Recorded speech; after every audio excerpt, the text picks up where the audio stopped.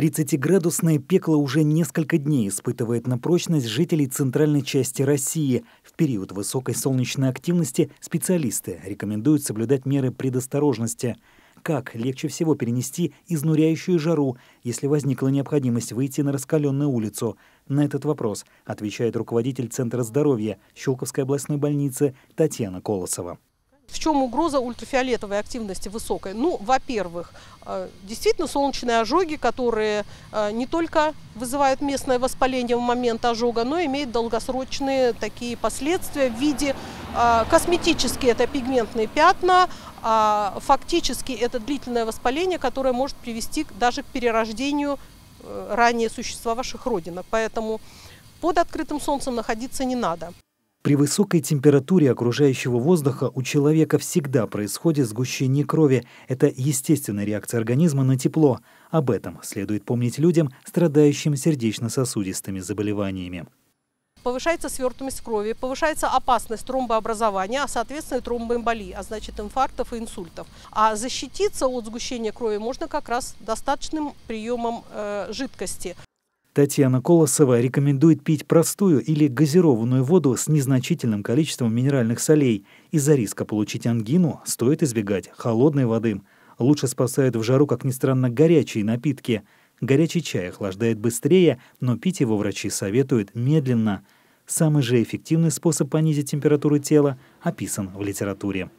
Пришли домой, э, завернулись в мокрую простыню, походили по квартире несколько минут, вот, все, тело остыло. Надо максимально часто мыть руки и ноги. А, прохладной водой, горячей водой без разницы, потому что здесь очень большое количество рецепторов, от которых зависит в том числе и наша терморегуляция.